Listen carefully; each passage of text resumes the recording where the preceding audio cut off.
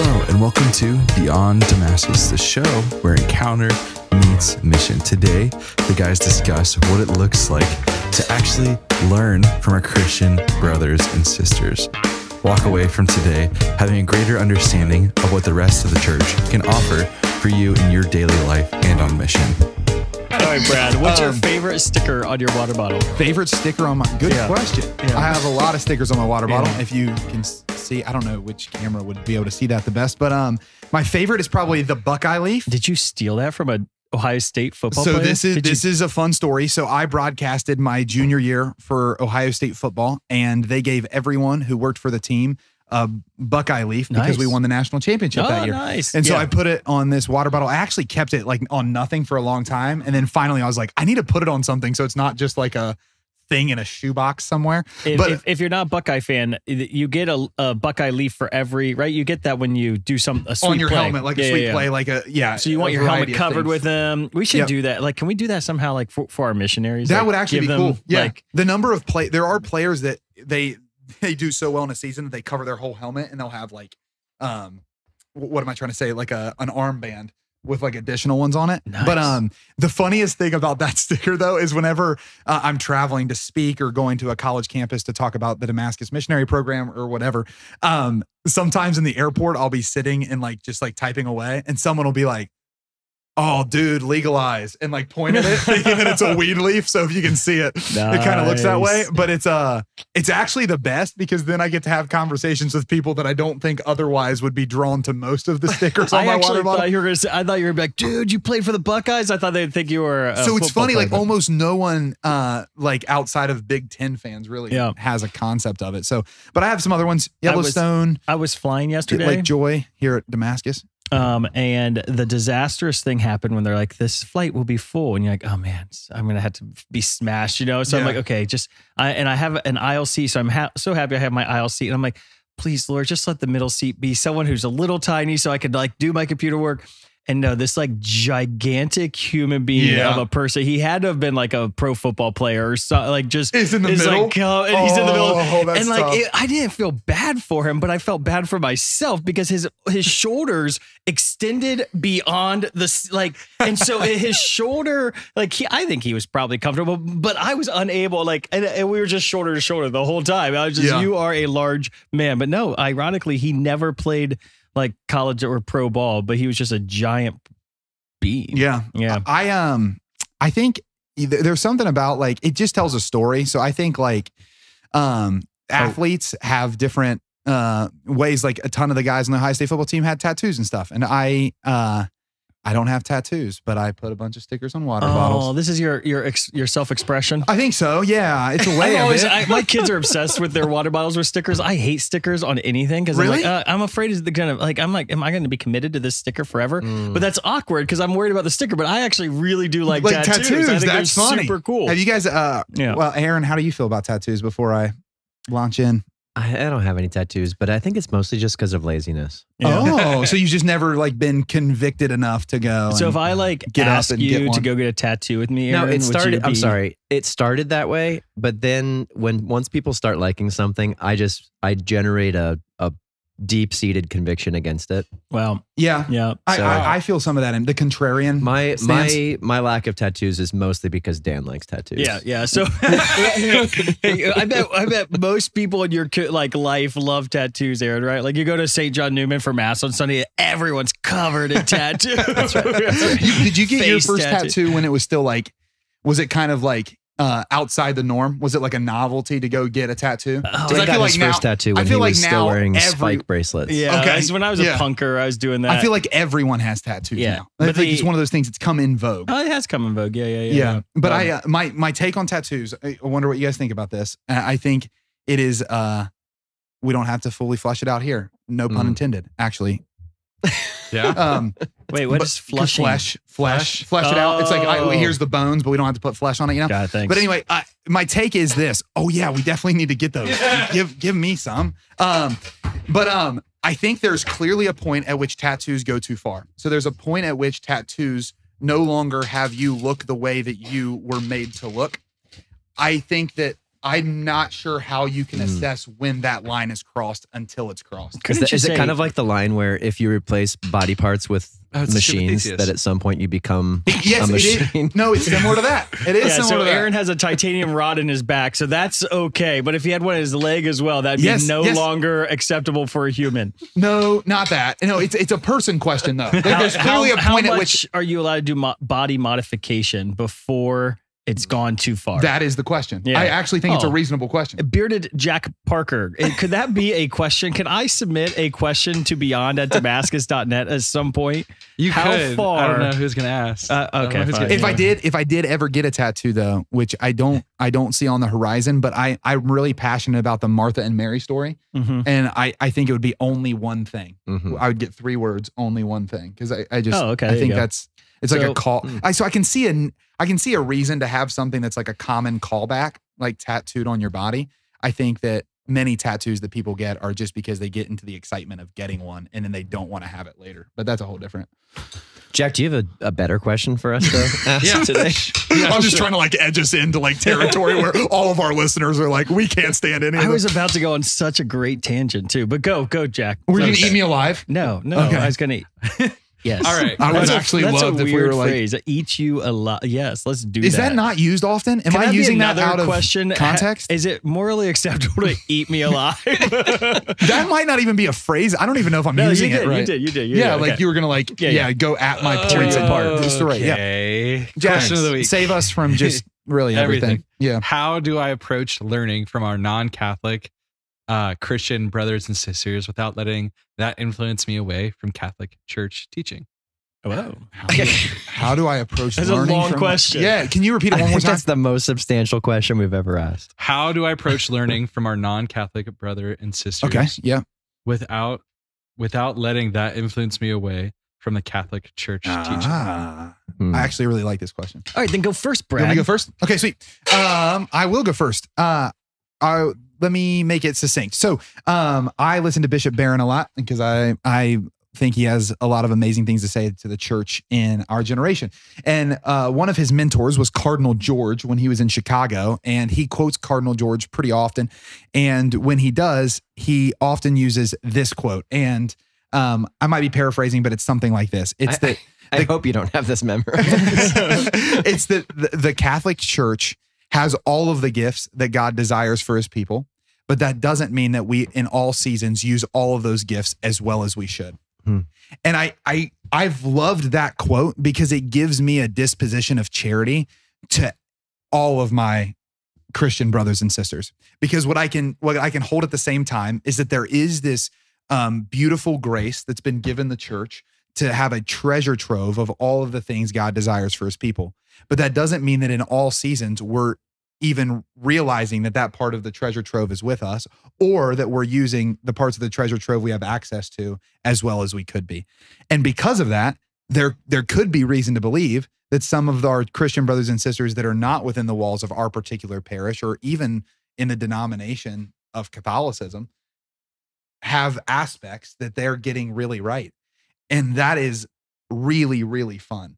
And because I think I I have a unique take on this too because where I grew up it's kind of the beginning of the Bible Belt. Mhm. So almost everyone there is Protestant. But but like and I'm but I mean to say almost everyone. Like almost no one you would find where I'm from would be atheist. They they just don't believe like none of them have a pre, uh, a pretentiousness that would suggest they're smarter than what a lot of people have believed. And I'm not saying that every person who denies faith is like that, but they're all just kind of like, yeah, we believe, but they believe in like a general Protestantism is probably what I would say. There's not a lot of Catholics. And so growing up, it was actually funny because I, I went to the Catholic school in the area and there was constantly comments like, you guys aren't even Christian, or like there was a lot of things that I just didn't understand. So I had in my mind a real dichotomy uh, between Protestants and Catholics, which in some senses there are, but in other senses they're they're not. And I had them on like totally different like Mhm. ends of the uh, ends of the I don't even know if spectrum, but just like ends of the belief. Um, yeah, yes spectrum.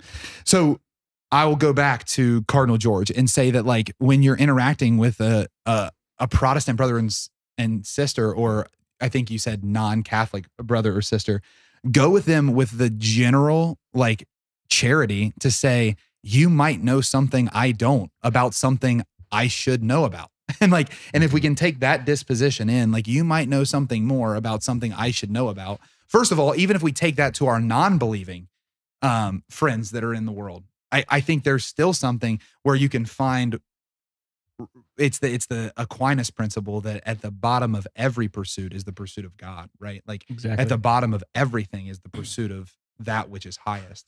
And so, long story short, I think that the way to approach non Catholic brothers and sisters without losing our Catholic identity is to understand that the Catholic Church does have a unique grace to have all of the gifts God desires for his people under one roof. However, it doesn't mean that at certain times we haven't misplaced some of those. So let's approach dialogue with our uh, Protestant brothers and sisters and those in the world with, you might know something more about something I should know about. Yeah. And I think that's a Yeah, I think that's awesome. I, I mean, uh, other people highlight different things. Like if I like uh, even even if you just look inside the church, well, Franciscans are going to highlight a part of the gospel in a way that Dominicans aren't, right? And then Yeah, and Benedictines are going to highlight a part of the gospel that Franciscans aren't.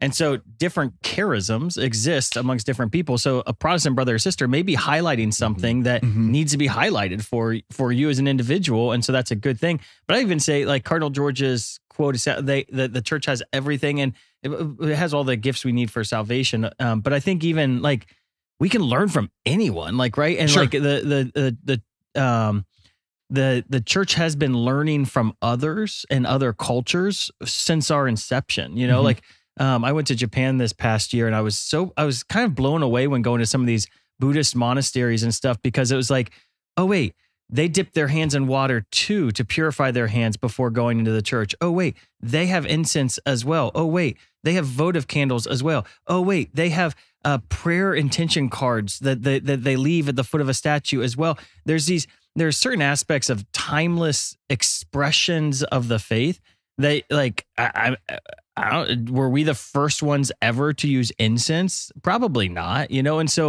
um Mhm. there's there's things that we saw other cultures and, and and the church has a history of seeing other cultures or other spiritualities do something and and then christianizing it right Mm. and so i think there's an element of what can we learn Mhm. from this situation and I have and one so word for that. Paul Dan. at the Acropolis. Like Yeah, it- exactly, It's, yeah. it's this like anathema. anathema yeah no, I, I think yeah. Well, but I actually that's interesting because like even when we read the Council of Trent, like I, I think that we do find in the the angle of how it's written Yep. something that I find in in myself sometimes, which is like a hyper reactivity. It's like oh, but like I I need to have solid lines, and I think the church was right to set up lines, but now it's like. But I don't have to fear like entertaining someone who's on a different side of the line than me. I think that's I, I think that's just fundamentally anti-Christian. Like we we haven't done that since since Jesus Christ was here. Like Jesus went to the woman at the well. Like he he went uh, he wanted those who followed him to go yes into Judea, but into Samaria and then to the ends of the earth. Like like Yeah. Jesus never was like, "Hey, don't dialogue or have conversation with people that are across the line than you out of fear that they might Oh no, that actually connects it to the lep. I think I heard it from one of you first. Is like Old Testament, you touch the leper and you get leprosy. I think it might have been you, Aaron. Uh, New Testament, you touch the leper, they get clean. Like Yeah. there, there's a part of like Jesus changes something Yeah, where I don't have to just walk around fearful that I'm picking up like this like broken schema that I have That's to like hide from, right? That's great. Yeah. Let me. Uh, I'll throw a little. Uh, you, you labeled me earlier as a contrarian. I'll throw a little contrarian twist on this, I as, love it. as well as maybe a good a good word Rebound. rooted in virtue. So I th- I think you actually have to approach this. How should I approach this? With humility. I've I've got I've got to approach this with humility and and I think um an openness to actually changing my mind, right? If if you encountered a truth that was truer than the thing that you claim to believe, would you change your mind? Mm. Or would you or would you buckle down and say like no, I'm right? Right? Because I think I think that that is actually the way that most of us tend to operate when it comes to conversation with someone we we disagree with or someone that we're not formed in the same community with that we just assume like there are there are certain things that are off limits and if you start speaking to me something that that convicts me like it's witchcraft and i'm not going to actually allow my heart to be to be moved or motivated by a pursuit of truth so i've got to have a deep enough belief in jesus that the actual pursuit of truth is going to lead me to him and and and therefore mhm. by by connection is going to lead me to the the truth of the church, the truth of the Catholic Church. But I, I would say for for many people, myself included, and I'll I'll give a brief little testimony to this. Um, we have set up for ourselves golden calves and claimed that they are Catholicism, and they're not. And our our unwillingness to change or our unwillingness to be open to different perspective actually puts us in a box that's not good. Yeah. What's an example of that? Yeah, so I I I I- I've shared this on the show I think before, but when I was in high school, like my um my sole motivation in pursuit of the faith was through apologetics. I thought like this was the way to transform the world. Um, if we were going to have any meaningful impact as a We have to have ministry, better arguments than it, everyone it- else. It had to be through through apologetics, and um, what it, it How'd that work out for you? well it uh, if It you was know me, if you know me now, it was incomplete. uh, and I love apologetics. It's it's great. There's, there's a there's a time and a place, and uh, wh- wh- I found myself in an experience where I don't know eight ten years of of that as my as my primary motivation. Um, I was just left empty, and I was I was doing the youth ministry thing, and it just it wasn't fulfilling. It wasn't it wasn't fulfilling my heart, and I don't know whether God placed it there, um, or or whether whether it was just a, a a rut that I had found myself in, but um, the the escape for me, right? The way that God came and and shook me out of that of that idol that I think I had set up for myself, and and brought me to a place of of real meaningful encounter with Him and the church, was through actually humbling myself and putting myself in a place to be formed meaningfully by people who are outside of the church. So, um, a, a close friend of mine, um, Megan um, Baum, and I uh, started really listening to and being fed by some of the teachings down Louis Giglio down in Passion Church in Atlanta, Georgia. Mhm. And again, uh, do I do I wholeheartedly agree with every theological point the guy communicates? Absolutely not. But it was it was actually putting myself in a place of of realizing like that that I can be fed and formed by people that are different than me. Yeah. That's I mean that I think changed everything. Yeah. I think going back to like your first point, Aaron, was is that the pursuit of truth will always lead to truth, right? Like if I'm pursuing truth, it's going to end in God, and that's that's the really spirit been, of truth will lead you to all truth. yeah, and that's been the the Catholic understanding forever, right? That Mhm. we Mhm. we're we're not against science, we're not against biology, we're not Yep. against philosophies, right? That that we the pursuit of truth is going to end in God if it's an authentic pursuit. And so if I'm if I'm going to my non-Catholic brothers and sisters pursuing truth, right? Then and I'm uh, I'm going to it's it's going to bring me into a deeper relationship with God, who is Mhm. truth. And But- it, it's possible that the Protestant preacher down the street or on television may actually have a more truthful interpretation of the scripture than my theology teacher. Right? We, we I think we have to be open Because That- my that's a, theology that's a scary yeah. path to walk. But my theology teacher wasn't perfect, right? And and and what you were saying, Brad, not ev- like we we may have the fullness of truth. That doesn't mean the the truth was communicated perfectly to us in our high school Yeah. religion class. Yeah, no, that's right. Well, I think the humility point is so big because, like, I- I'm not going to speak for you, Aaron, but I had a very similar, like, in my early stages of conversion, like, I'm going to get the arguments right, you know? And there was just a pride in that because, like, the reality is at that time, I, instead of pursuing truth, I wanted to pursue being right. Like, that's just, that's just how it is. And, and how many dialogues do we have in our life where we just want to be right? Like, it's not even like, and I, that's why I love the way you framed it, Aaron. Like, let's, like, let's say that you and I were having a discussion and Aaron actually has a like a path towards what seems logically coherent and Mhm. true that is different than my predisposition am I willing to change that that is literally the frame of if it's an honest dialogue or not Yeah. if, if that's not there then all it is is competing monologues to see who can who can like outduel Mhm. and win and What- and that's not the right aim one of my favorite phrases that captures this in the in the context of of Catholicism and, and even canon law is that is that we must not um, prevent what uh, we must not prevent what the church herself permits. yeah yeah yeah So um, for for me to for you know you you hear this especially in in the context of of conflict between uh, you know the the the quote unquote liturgy wars uh, Yeah, right. conflict between the self labeled progressives or or uh, conservatives and charismatics or or progressive whatever whatever the case may be like that that that we've we've sort of established a label that something is or isn't Catholic, and we just got to be sure that we're actually standing on reality. Yeah. Am is am I trying to codify my preference, um, or is this or is this actually a critical, you Yep. know, quote unquote salvation issue? And more often than not, uh, preference doesn't make it all the way there. Well, and ecumenism is realized like the church permits ecumenism and encourages ecumenism and it's it, it is promoted through dialogue and Yeah. so it's in order to for dialogue to happen i have to listen to others eh, so that they'll listen to me and Yeah. i think Yeah. that as a eh, i know that as a catholic when i associate with and put myself in a learning position or an inquisitive position around my protestant brothers and sisters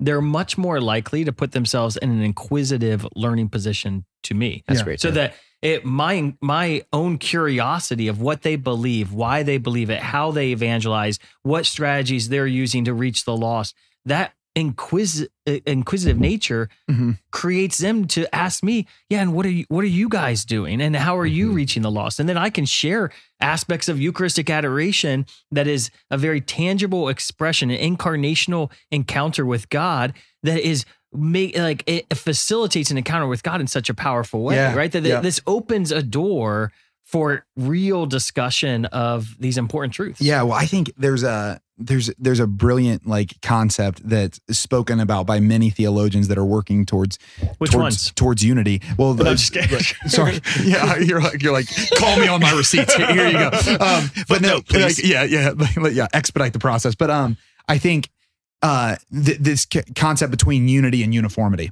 Like Mhm. there, there's like the the pursuit of the church is that we would be in unity, but that's not always going to look uniform. Like e- even look at the church in Africa and how they're celebrating the the mysteries of the mass, and look at any Western country and how they celebrate the mystery. It, it is just not uniform, but there's unity in it. Like so, you can see the elements of it, the, the truth, like what the GIRM prescribes and things like that. But it takes on these flavors, and that's actually beautiful. That's actually like we shouldn't demand conformity where the church allows for diversity of expression. Like that is that is a that's a problem, and and it is a and I think it really is a, a heart problem. Like, like I I've been um kind of uh, recognizing in my life I have a real desire to bring two extremes towards the middle in almost all circumstances. So I usually if someone comes in very passionate on like a wing of something, I just come in on the other wing because my passion is towards the middle actually. And one of the areas like I was reading recently Sacrosanctum Concilium and Just in like, your spare Can you time. say that three times fast? Sacrosanctum Concilium, Sacrosanctum Concilium, Sacrosanctum Concilium. Um, but like, it, it- like it's this beautiful document that comes out of Vatican II, but it's in the exact same document where we see like, hey, maybe we we could have a pride of place for Gregorian chant, and versus populum is a more than appropriate posture to take in the mass, which just means to the people. In the same document.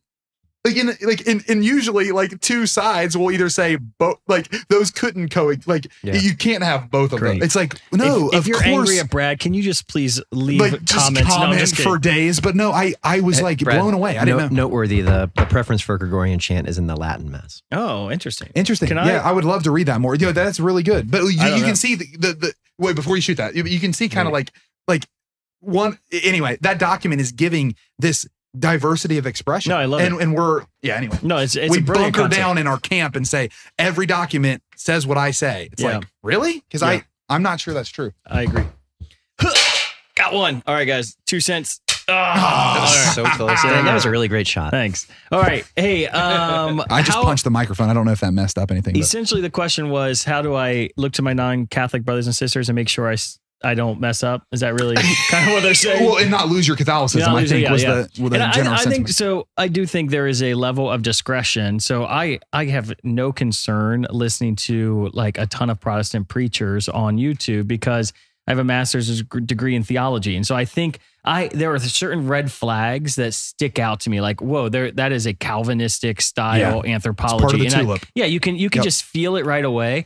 So I do think there are people who don't have theology degrees that probably should be a little bit more discerning. And so I think the the the it, would be very effective if you know your sidelines, right? So like kind of in football, I, I can I can play on the whole field, and but I can't like I I don't want to go out of bounds. And I think that's where like when interfaith dialogue or interfaith learning know know your sidelines so you know like okay the, this is when i go out of bounds Mhm. right and so if you're un- unclear then ask someone who has clarity in the catholic faith for an understanding right so like is it okay if i go to a protestant service to learn how protestants are evangelizing is that okay and maybe you don't know yes of course it's okay to go to a protestant service right and and learn how they're evangelizing as long as you go to mass on sunday as well right and so like I think, but if if you don't know that that's a, an appropriate thing to do, you may f- not.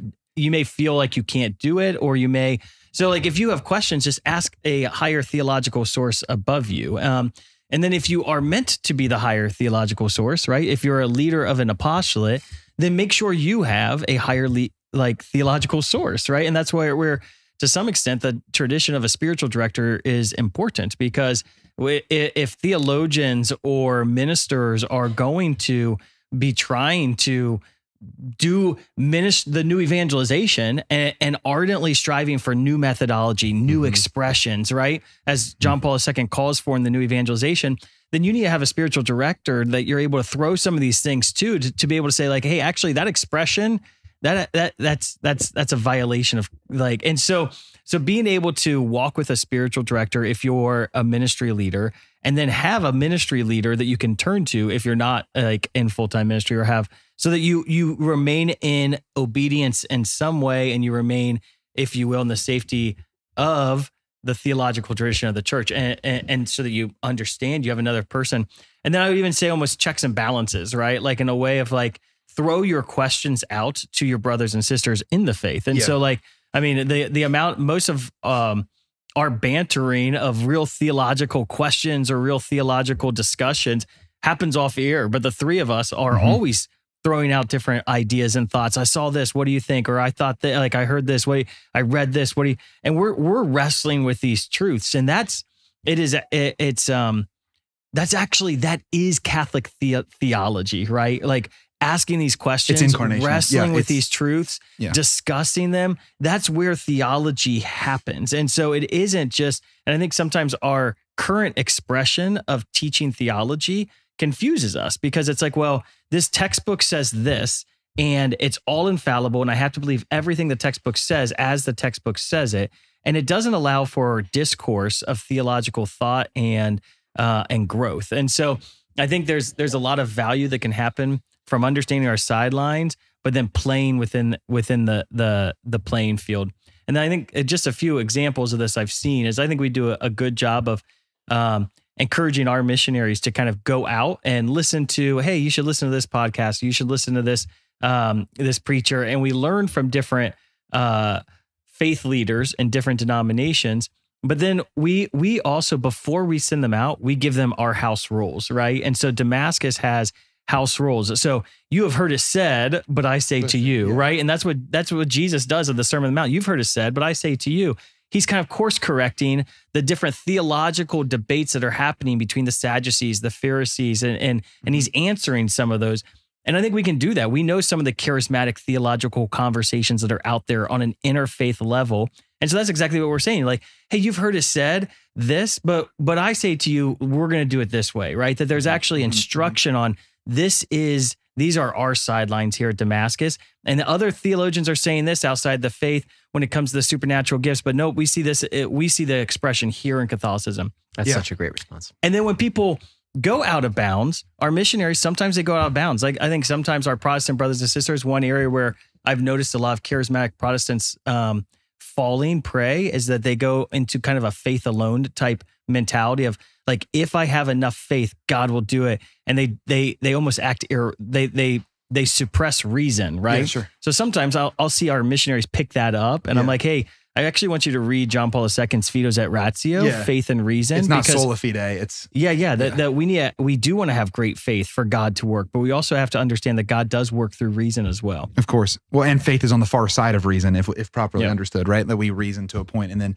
faith is not some like absence of reason. It's you reason to where you can as a person on a thing and then the faith is on the far side of it. And all all of this takes more work, and all of it Bears better fruit. it bears better Of- fruit. of but it also and that's means- the ge- should be the goal. Sometimes people will go out of bounds, Yeah. And going out of bounds is not like it The may be a the world. penalty, but it, yeah, the game isn't over because of that, right? And the, the That's the person doesn't perfect burn in hell because of that. Yes, so that's the like, perfect if I step out of bounds, that's okay because Yes. guess what? I can step right back in bounds. Well, especially with people that you know you're having conversations with in good faith. Like I mm-hmm. think all three of us have grown in that with each other over years. Is like now when I do have something that I'm wrestling with, like in my own, like I know I'm like I can bring this up to Dan and Aaron, and even if it's really wrong, like they're gonna they're gonna wrestle with it and let me object back to them. But that grows in trust. I think Yep. there's a huge element to this as I'm listening to both of you. Like also find people in your life that are Catholic and going after Mm. this thing because those can be the people that remind like, like the the officials, the referees that remind you of of the rules of the game. Like these are the sidelines. You can't go outside and then run back in and catch or whatever. Like that that's helped me immensely because yeah, like gosh, if we're not taking if we're not taking risks, how are we even trying to touch the whole field? Yep. Because I'm trying to touch the whole field. Like there's people at every element of the field. And and like if if I'm not if I'm afraid of the sideline, I'm just going to stay with the people in the middle of the Mhm. field. When and I- I, don't want to be afraid of the sideline. and I think the new evangelization is so important this because like it is new in expressions, methodology, and ardor. And I think a lot of times when we John go to our, II, right? Yeah, yeah, yeah. That was that was what he said. that We need a new Yep. evangelization that is new in its expressions, methodology, and ardor. And if a lot of times when we go to our Protestant brothers and sisters, we're not looking for their theological doctrine. What we're looking for is their expression of evangelization. We're looking for their ardor in evangelization. Hmm. We're looking for their methodology to reach the lost. And that's really when we're that that's when that's when we're gonna get the most value mm-hmm. from our Protestant brothers and sisters is when we see, wow, what are they doing well to reach the human heart and lead that human heart into relationship with God? Uh, comment was made earlier that when we adopt a posture of humility, it actually fosters a posture of humility in others as well. And I would say one, one of the really cool things, Dan, I think you, you you illustrated that perfectly. That that oftentimes uh, our our Protestant brothers and sisters are succeeding more in terms of methodology and ardor and uh. Expression. Ex- expression. And um, oftentimes when when we approach them in humility, uh, that an, that a, a response of humility actually positions them to look to Catholicism for development of theological thought. Yep. Yes. Yep. So we've run into this time and time again that that you know you'll you'll, you'll show up to the bookstore of some amazing non-denominational church and who's on the shelves but the Catholic mystics Yeah, for sure. because because there's a, a realization that hey if this truth is worth pursuing then then we've got to we've got to find it wherever it's offered. Yep. And that just opens up an incredible dialogue. Yeah, and and I found that to be true anecdotally because it also opens up a relationship where you're not giving unsolicited advice, but you're giving advice when it's solicited. Yeah. So I've had Protestant brothers and sisters that'll ask a question in honest like like seeking, and it'll be like, oh, I know the church knows that. And so then I get to answer instead of like coming in with like a preconceived agenda as to what I'm going to deliver to them in relationship with them, they'll ask questions like, how how should we understand this scripture? And I'm like, oh, I don't need to know that. Origen knew that. Like, I, I don't need to know that. Uh, John Chrysostom knew that. Like, I, I don't need to know that. Aquinas knew that. Yep. And and that is a real beauty. So like I, I before we kind of move, I think towards mission of the week. Like if you're listening, like that's the beauty. Mhm. Like like none of what we're saying is is escaping from the beauty that we have these resources at our fingertips. It's just we need to live those resources out in relationship. If ministry is not uh, incarnational and it's simply logical, then then we're not even like human. like Yeah. like it has to be lived out in a way that I think you said that perfectly, Aaron. Like it Hmm. it comes into the circumstance that we're in in humility and then does what it can with Yeah, it. you know, it's, it would be very interesting to kind of give yourself a litmus test as to what would be appropriate for you as a Catholic to eh, to involve yourself in Protestant dialogue. To what extent do you want the Protestant to involve themselves in your Catholic dialogue? So, if we're going to love our neighbor as ourself, then if I want the Protestant to come and learn about Marian devotion, if I want the Protestant to come and learn about the Eucharist, Sacrament. if I want the Protestant to come and learn about sacraments, yeah, if if I want them to come in and see and learn and listen to me, then I should be willing to do the same to them. And I like to to simply if, if whatever to what extent you want them to come to you, you should go to them, or you you should have permission to go to them. I love that. Um, right before I- I'll throw it over to you, I was listening to a podcast by um, Dr. Bergsma today, actually. And if you've never, Bergsma. if you've never listened to Dr. Berg, brilliant. well, he's, theologian. but the thing is, his intellect though has not allowed a shell to like grow around his heart. Like Yeah, yeah, he's yeah. so smart, but he's so in like Love. I love I love him. Yes, and with the people he's teaching, with the people he's talking to, with the people he's arguing with, like he is like just a. Uh, I think he's a case study for charity. Like I think he's Great, amazing. Brad. You gave him such a good pr- promotion. Now everyone's going to listen to his podcast and, And not ours. no No, no, no, viewers. no, No, I'm just but- no, I, but it's building off what you were saying because one of the things he, um, one one of the things he was mentioning is just like the the yeah the we as Catholics don't have to be afraid of losing our Catholicism when we truly understand it. Like when we truly hmm. understand it, it's like all these things are oriented towards it. I just want to get on the the path that sees the beautiful fulfillment of all of the things for it. He was just talking about like he went into this class that he knew had an atheistic tilt and he knew it was going to be the best arguments for atheism. And part of him was scared to go into the class because he's like, what if I'm proven wrong?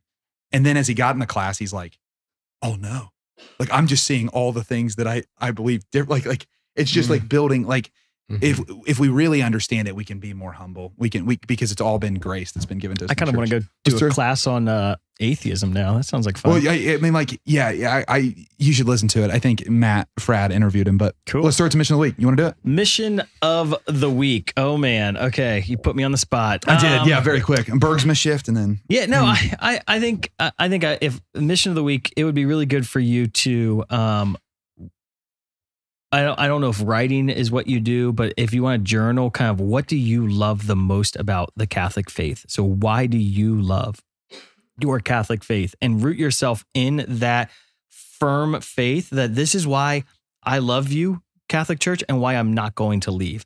And as, as long as you know your personal why of what roots you in your faith, then you can go and play ball on the field and not be worried that you're going to lose your faith. So root yourself deeply in the church with a heart and a love for her. And if that love's there, I don't think you have to be worried that you're going to lose your Catholic faith. that's the best. That's really good. Aaron, you want to close us in prayer? I think that's. I would love to. In the name so of the solid. Father and the Son and the Holy Spirit. Amen. Amen. Uh, Lord, thank you for stretching us and for for demonstrating time and time again that you never leave us alone. So Jesus, stay close by our side, and I pray that this I pray that this conversation today was challenging to those who are who are uh, tuning into this show. Um, Lord, stretch us out of complacency and let us eagerly desire the truth that you offer us, the truth that you offer in love, and to not be afraid of pursuing whatever it takes to find you.